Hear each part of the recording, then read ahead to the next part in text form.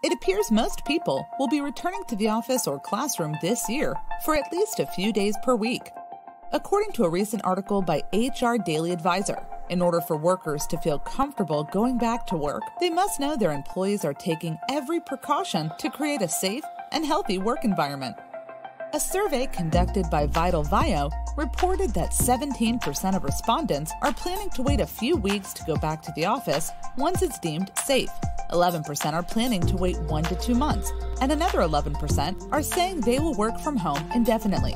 Further, Americans want employers to focus on protecting workers from harmful germs. 25% of respondents say they would even leave their job if their employer does not make investments in cleanliness. And this number is even higher for millennial 31% workers. For more information, contact us today